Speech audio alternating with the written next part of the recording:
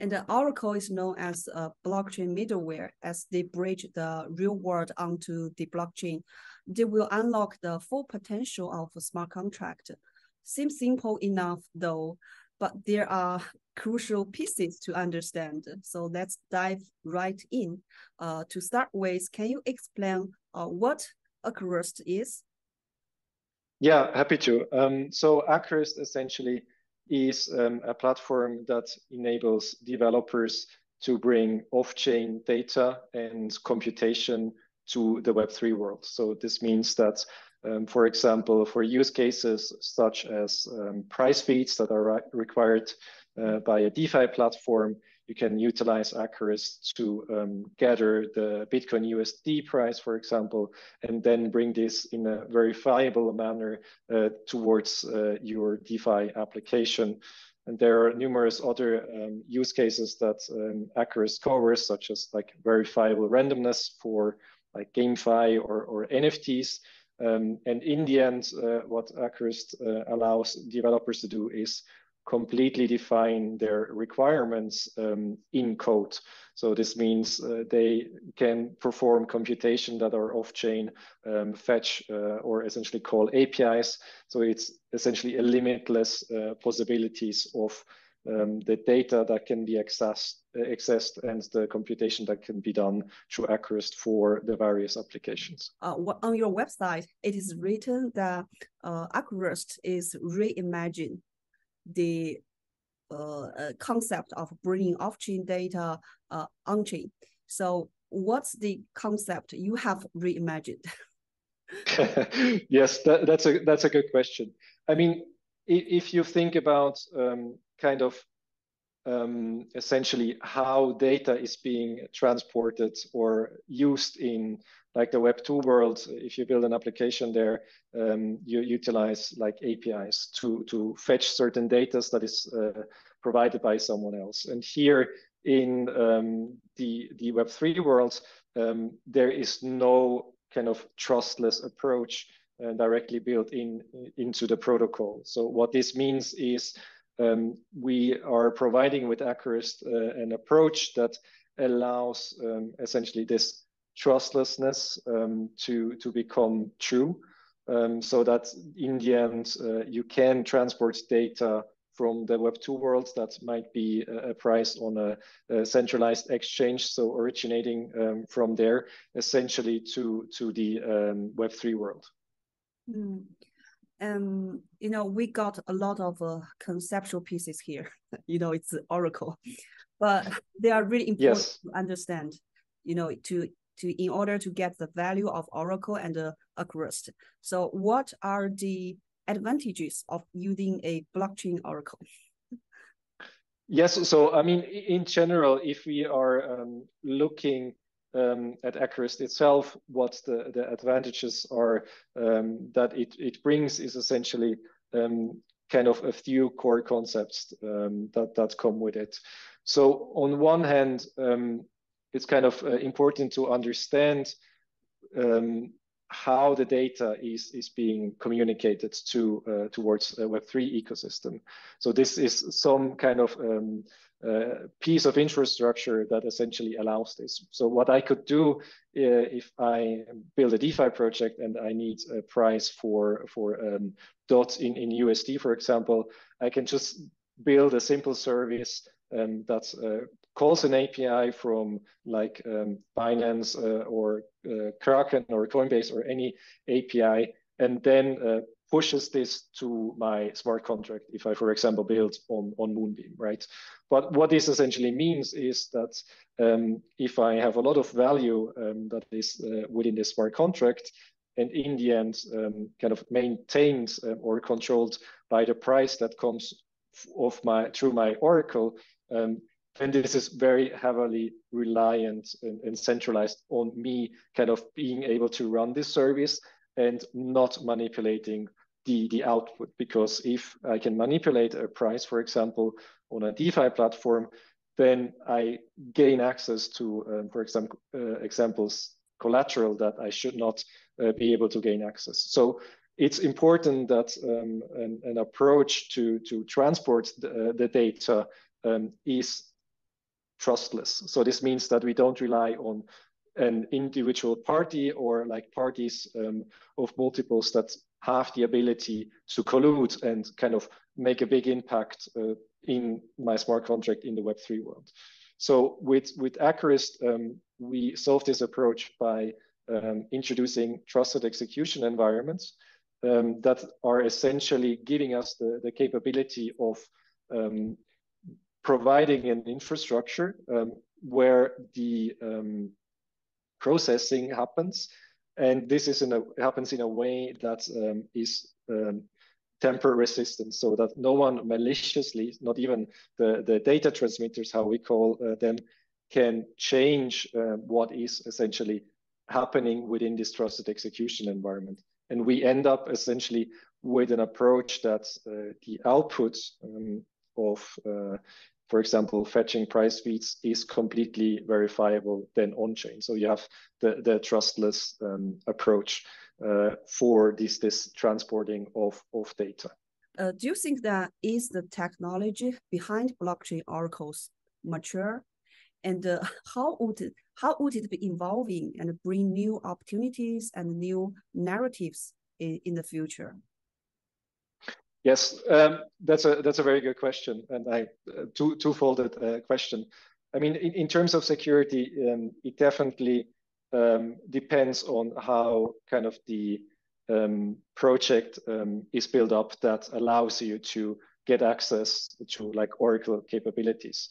So, like I've, I've mentioned in, in the example, right, um, where you have just one party pushing uh, data into a, a, smart contract, then there you have kind of a, a huge security risk, right, of uh, this this party essentially uh, manipulating certain things. So this is, was important for us when we um, set out to to build Acurast that um, security uh, around this approach is, uh, is is a given, right? It's not just like an assumption that um, okay, I need to trust uh, this these parties uh, if they uh, don't collude, then I'm secure. But here we have essentially um, with, with the, the trust in technology and, and cryptography because we have in the end did this verifiable um, approach of processing these these off-chain uh, data jobs in, in the end. And I think this is is uh, like I've said, depends a bit on, on which spectrum you are um, in, in terms of if you're looking at uh, blockchain um, oracles uh, in, in, general. They can be very simple, but um, uh, have a lot of security impacts, or they can have um, like a, solution like Acurast um, that is technically sound uh, and does not rely um, essentially on one party because um, in, in in the end, anyone that has the required hardware can become uh, a data transmitter. So it's an, an open platform. And maybe on, on this, the, the other side of the, the question, um, when you are thinking about kind of what um, oracles or what off-chain computation essentially can enable, um, this is very interesting to uh, take also a bit of a like broader look, looking a bit further away. Um, so nowadays, um, what we definitely see is kind of where um, kind of this capability is used is yeah, within uh, DeFi, um, within um, NFTs and, and GameFi, uh, where you have kind of these, these examples of price feeds or verifiable randomness.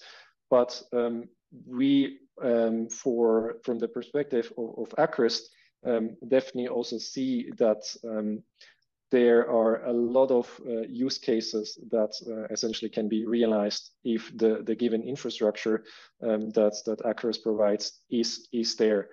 So what this means is that we see that, um, for example, Acurast comes with um, with a marketplace uh, that brings together um, the data transmitter, which are the infrastructure provider, um, on one side, with the developers um, on the other side that have the requirement for um, off-chain data or, or computation.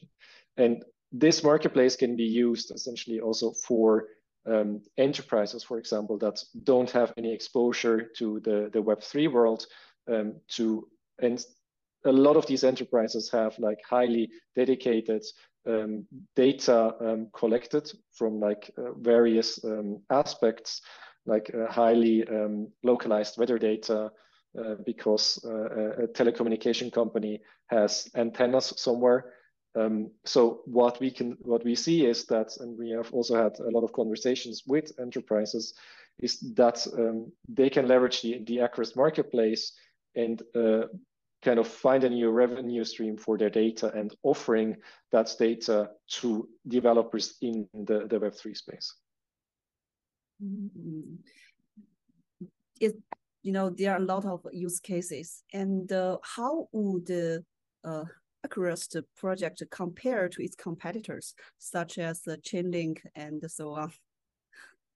Yes, th that's a good question, I, and I think that's always um, fair to to look at um, other projects um, as well in in the the ecosystem as well.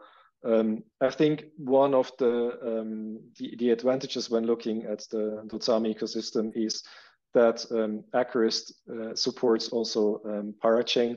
So there is uh, parachains. This means there is a, an Acurast pallet uh, that can be integrated um, in a, a substrate-based chain. And uh, there the output of um, the data transmitters can be directly consumed.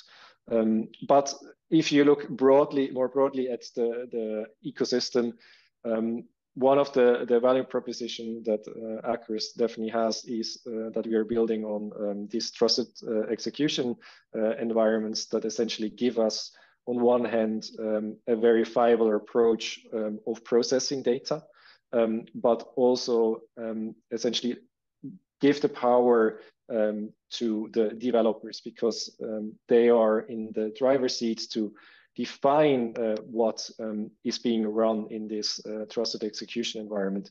So this means that um, you as a developer, um, if you uh, need support for um, new assets, for example, you can just create this in, a, in, uh, in, in code. So it's, for example, JavaScript, and then go to the, the Acurast marketplace and um, create essentially an Acurast job there that is then being pick up, picked up by, um, by data transmitters.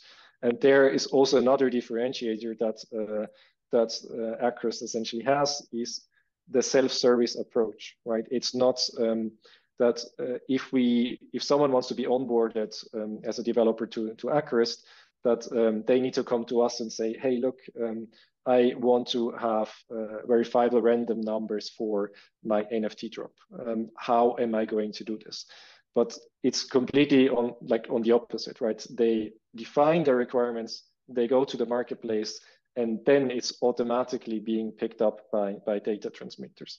And as well by the, the data transmitter side of things, um, it takes like five minutes to uh, be, be set up as a data transmitter um, to join essentially the, the Acurast marketplace and to start for fulfilling jobs that are um, provided by, by the developers. So you have the, the self-service uh, approach that then also um, goes into the, the trustlessness of, um, of all things. And last but not least, um, uh, focuses on uh, interoperability and has this built in uh, the core. So the, the protocol um, lives in uh, the, the ecosystem. There will be a Kusama parachain, which uh, will see the testnet, uh, the incentivized testnet of Acurast, and then later on um, a parachain on, on Polkadot. But um, is not limited to um, communicate only with um, parachains in the Dotsama ecosystem. It's also possible to communicate to EVM chains, um, to uh, chains like Tezos and, and uh, to the Cosmos ecosystem, for example. So, I mean, to, to summarize, I think on one hand, the, the interoperability uh, um, is definitely a differentiator that we, we um, are seeing. Um, the self-service approach and the uh, generic um, kind of um, capabilities that uh, the trusted execution environments bring us.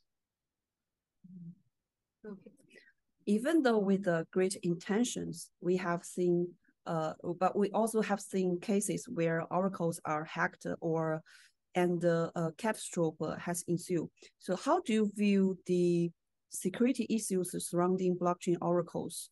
And uh, you know, how do you ensure the privacy of data? Yes, that, that that's a, a very good question. And I think it, it goes also back to what I've mentioned about the architecture that is being chosen um, for a specific oracle. Um, with Acurast, we have uh, this, this verifiable approach, um, which means that in the end, everyone can verify um, what the, the data transmitter has computed given uh, a, a, certain script that has been provided by uh, the developer. So you have uh, kind of at the core of, of the, the Acurast protocol, you have this verifiability, which then guarantees um, security in, in terms of uh, manipulation um, uh, of like the, the processing that is happening uh, in on the Oracle side of things. And um, privacy is another interesting thing um, that we can actually um, enable uh, through Acurast is that we can, um, if we, we have the case of an enterprise that has a certain data set um, that is like highly specified data that they probably don't want to just uh, sell a data dump um, of, of this like uh, data blob that they have but uh, they rather um, give access to specific um, requests. So this means that um, the developer asks for, um, if you have KYC, for example, um, ask, is this um, user a Chinese citizen, for example? And the, the Oracle then, through this KYC provider, just provides the, the answer yes or no. So you have the, these privacy preserving mechanism built into um, into Acurast as well that allows for use cases uh, like this where you don't completely expose um, all of the data uh, to the public. Mm. Mm.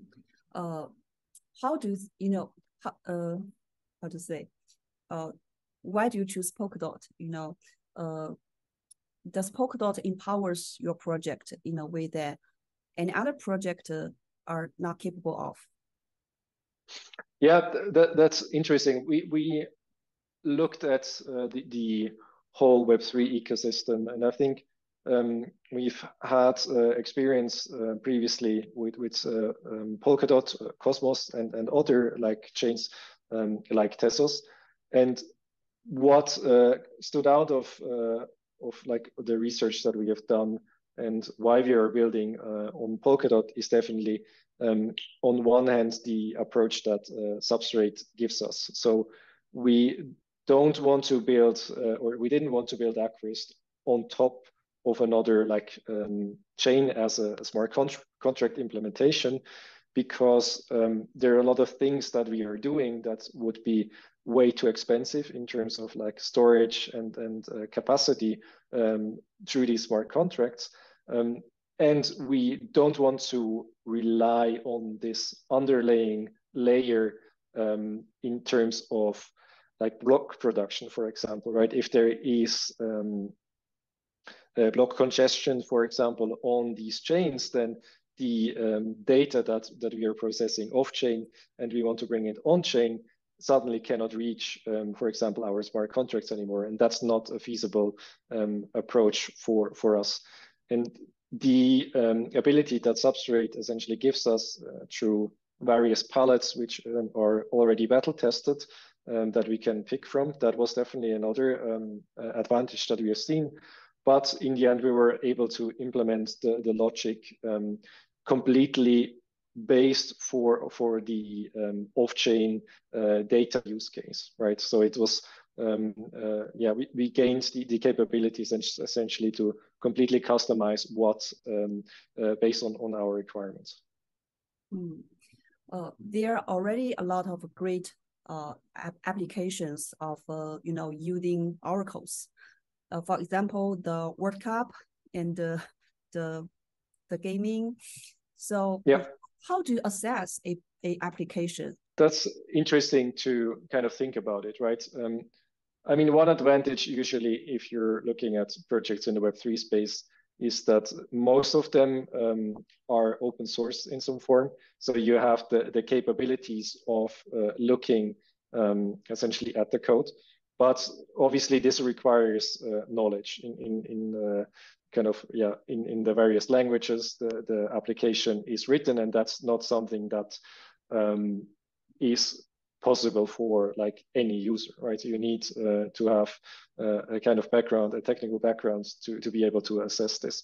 So I think what is important is that there's also um, kind of name recognition being built around, for example, Acurast as, as a brand of um, having these um, primitives of being um, trustless, being um, verifiable, and, and being secure, um, so that also others kind of get the understanding that if a project builds on top of uh, and utilizes it, then this is essentially what what the, the um, kind of off-chain computation part of it stands for um, as well.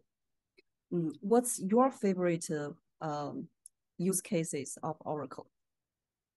that, that's a good question. I think what, what is interesting um, for for me um, now at this stage um, is like getting the the ability to um, access data such as like um, the results of sports games, like the, the results of the, the Super Bowl, right? You can you don't have um, access uh, to that data um, if you're building on a smart contract if you're not using um, a solution like Acurast that can transport this uh, to to effectively your your application, right? So building um, applications that kind of leverage this um, approach is definitely very uh, very interesting for for me. Um, but what where I see a lot of potential is what I've touched on before, right? Enabling um, so enterprises uh, that don't really um, are aware of like Web3 at the moment or the, the capabilities that that uh, Web3 um, kind of can offer them. So this is something that is uh, very interesting for me to bring kind of the Web3 world uh, essentially also to these these enterprises and kind of make them realize um, what they can can or how they can leverage uh, the the uh, the Web3 world. Mm.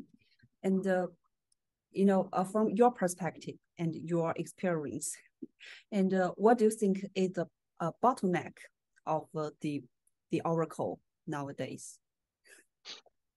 I think um, if you're looking at the space um, in in general, um, I would say one of the bottlenecks is kind of the limitations what you can do with um, with an Oracle, right? So what this means is um, yes, we, we are focusing on price feeds. Uh, yes, uh, there, there is a focus on like this verifiable randomness uh, because uh, smart contracts and, and protocols um, don't have true true randomness, but kind of enabling developers um, to completely build for their use cases is something that uh, I think is is lacking um, at the moment, and this is what what Acurast brings.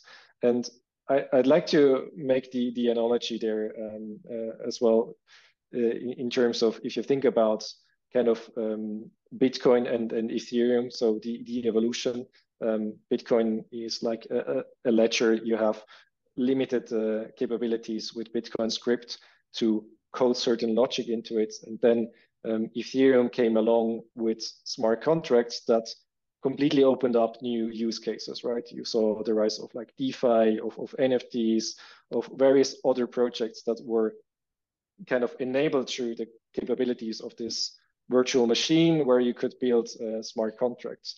And if you think about it, if you get these capabilities now with um, off-chain computation, um, where you can completely as well, again, as a developer, uh, code your requirements and, and have this run in uh, like a trustless uh, um, infrastructure, then this opens up so much more use cases um, down the road uh, as, as well. So this is something that is very exciting to see kind of uh, uh, in, in terms of, of an evolution perspective.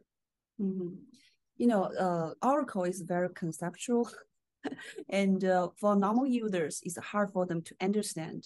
So uh, do you have some rec uh, recommendation recommendation of uh, books or uh, you know authors or some blogs for normal users to learn about Oracle?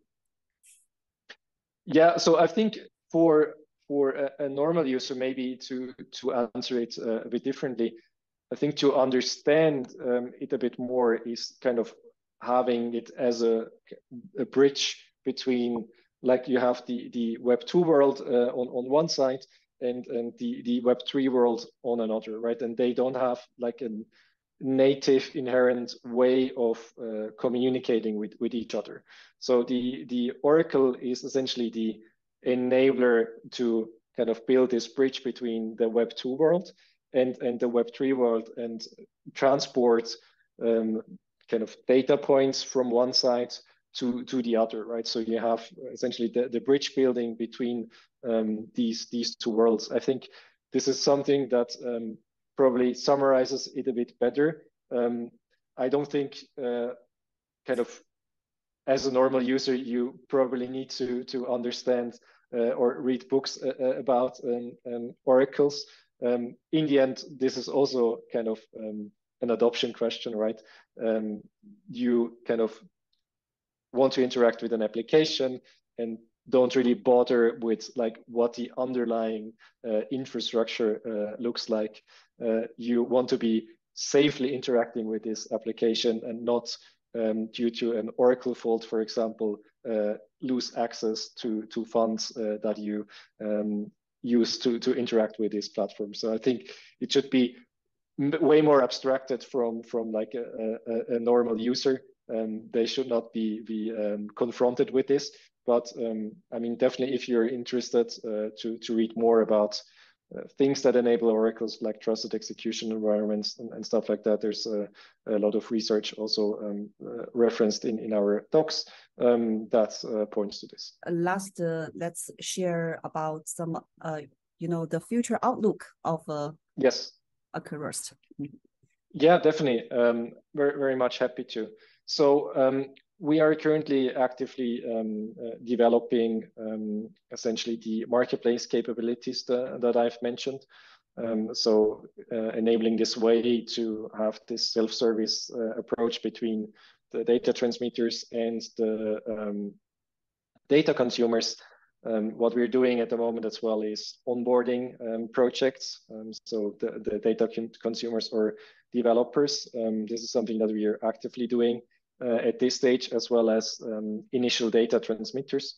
Um, so we have uh, a lot of great infrastructure providers uh, like Iceberg Nodes, Mayhem Nodes, and there are companies like Taurus, for example, um, that are uh, participating already as data transmitters for Acurast. And we are looking um, to, to onboard more of, of these infrastructure providers.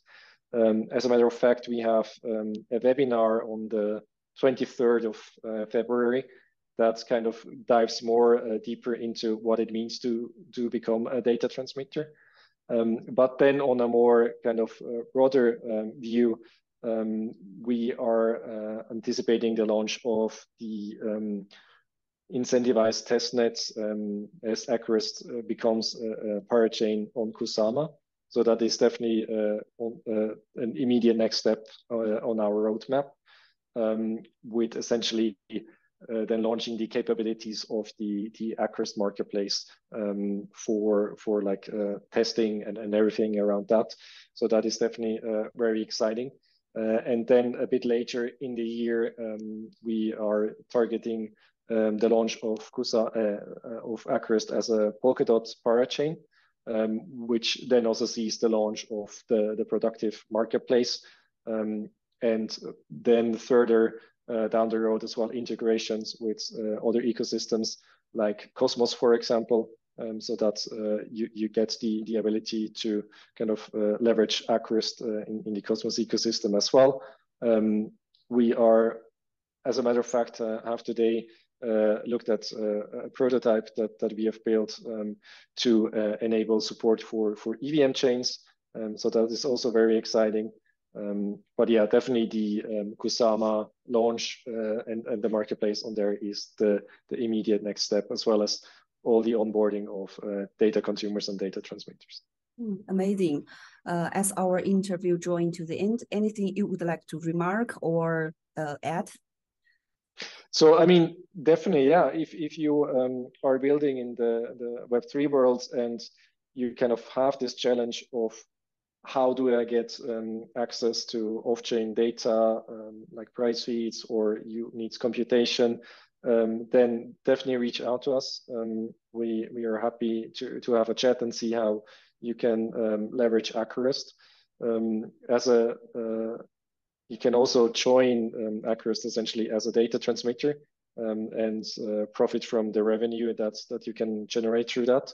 Uh, so you can also look out uh, to our social channels um, for that. And yeah, down the road with the launch of the the parachains, there will also be um, staking capacities um, and, and things like that. So um, if, if you're interested uh, to learn more, um, join our social channels. We, we are happy to answer all the, the questions that you have.